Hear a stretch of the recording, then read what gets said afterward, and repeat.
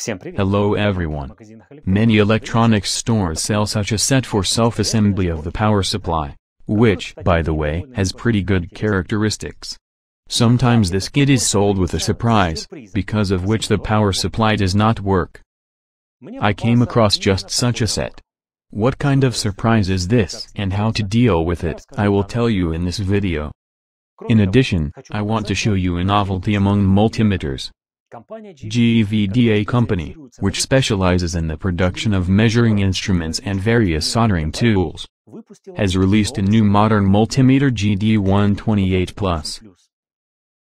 This is an excellent multimeter with many useful functions, one of which is the ability to charge from USB and, accordingly, the built-in battery to get more information about this multimeter, and also, if desired, you can order it by clicking on the link that will be in the description under this video. The GD128 Plus multimeter comes in a box like this. On the reverse side, as usual, the characteristics of this device are indicated. This multimeter can measure a constant voltage up to 1000 volts, Alternating voltage up to 750 volts. The current strength is up to 10 amperes. Resistance up to 100 megohms. Capacity up to 100 millifarads. Frequency up to 10 megahertz. Also in this device there are additional functions, such as a flashlight, temperature measurement, measurement of relative, as well as minimum and maximum values, electric field detection, phase wire detection and others. Inside the box there is a dense fabric cover, in which it is very convenient to store a multimeter. And here is the complete set of the device. User manual in English. Comfortable and high-quality probes with a soft and, quite possibly, silicone wire. The measurement limits of these probes are up to 10 amperes and up to 1000 volts. Also included is a thermocouple for temperature measurement.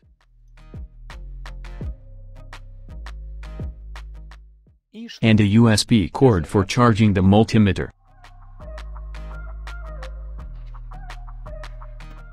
Well, here is the multimeter itself. The device is quite large, but at the same time it has a pleasant appearance and a convenient location of buttons, as well as connectors for probes. As I said, the GD128 Plus multimeter has a built-in battery. Now let's see what kind of battery is installed here.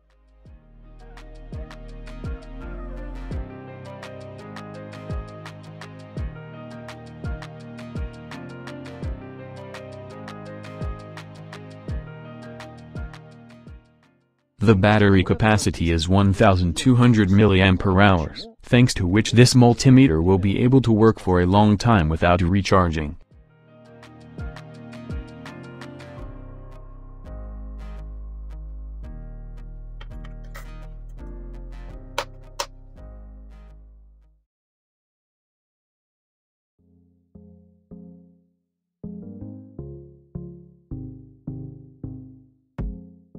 To turn on the device, you need to press and hold this button. When the multimeter is turned on, the auto mode is set by default. Also on the screen we see the ambient temperature, 25 degrees. By the way, this multimeter has another very useful feature. When switching measurement modes, the connectors where the probes should be installed are highlighted.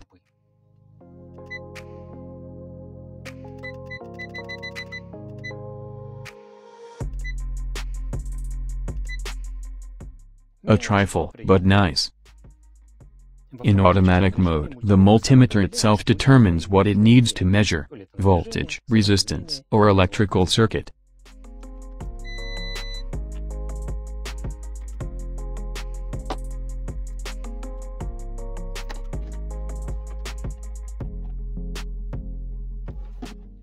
As you can see, the multimeter copes with the automatic mode perfectly without any delays.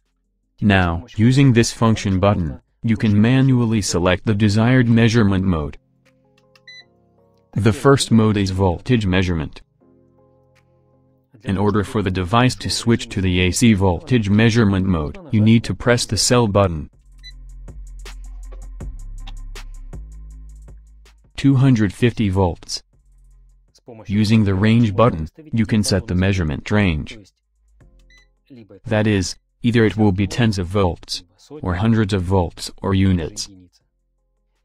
If you press and hold the row button, the multimeter will switch to the relative value measurement mode. Using the max per minute button, you can fix the maximum and minimum measurement values, and the hold button saves the measurement value on the screen. The next mode is resistance measurement. 680 ohms.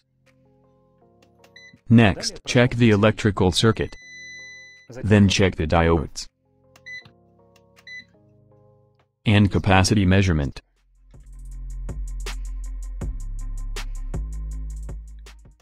The next measurement mode is millivolts. Then the frequency. In the household network, the frequency is 50 Hz. Then the temperature measurement. In order to measure the temperature, you need to connect a thermocouple instead of probes.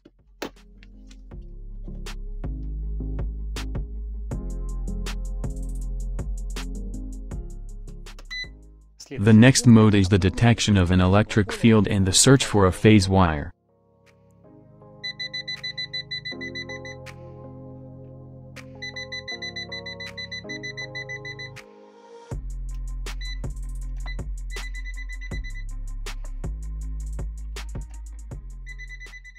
And the next mode is the measurement of small currents, that is, milliamps, and large currents up to 10 amperes. When you press and hold the SEL button, the flashlight turns on. So, what conclusion can be drawn? The GD128 Plus multimeter definitely deserves attention. The built-in battery, a variety of measurement modes and additional functions, as well as clear and fast operation without any delays and a pleasant appearance make working with this device very comfortable. By the way, I'm going to need it now. Here is the power supply that I talked about at the beginning, it has pretty good characteristics. There is voltage regulation from 0 to 30 volts, current adjustment up to 3 amperes, as well as overload and short circuit protection. When I received this kit for self-assembly, I assembled it in just a couple of hours. Then I applied the supply voltage, and nothing worked. Now I'll show you how it looked. The maximum voltage that can be applied to the input of this power supply is 24 volts. The transformer I use produces exactly this voltage. When the voltage is applied, the LED immediately lights up signaling an overload. At the same time, neither the voltage nor the current are practically regulated.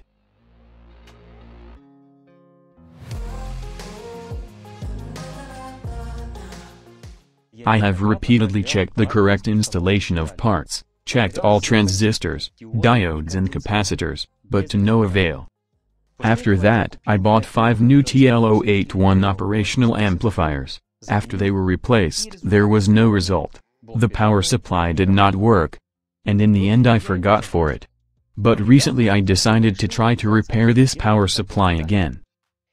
I checked all the parts installed here again, and also ordered 20 pieces of new TL081 operational amplifiers. But before installing them on the board, I assembled such a simple device.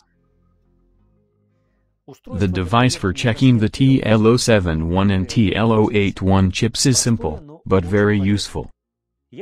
I checked 20 chips that I bought, and about half of them turned out to be non-working. Here in this video you can watch the whole process of assembling and testing this device.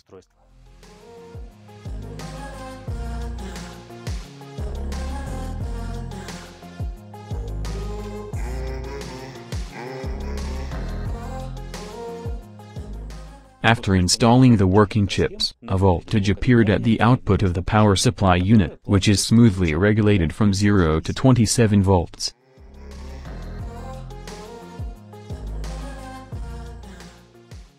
Now I will check the power supply under load. First, I will connect the LED strip.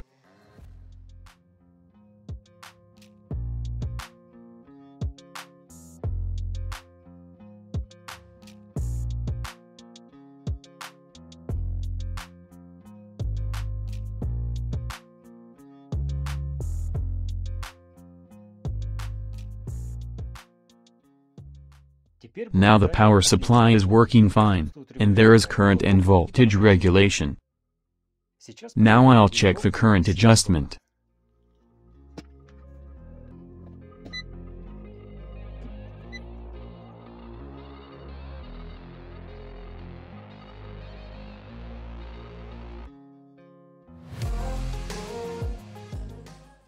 With serviceable TL081 chips, this power supply works great.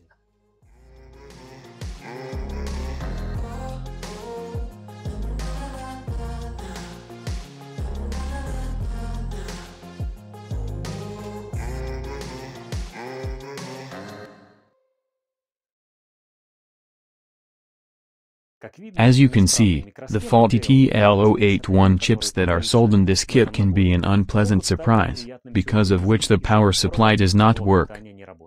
But if these chips are replaced with obviously serviceable and working ones, then the power supply works great. This concludes this video. If you liked it, then click the subscribe button so as not to miss the new video on my channel, which will appear very soon. I thank you for watching and see you soon.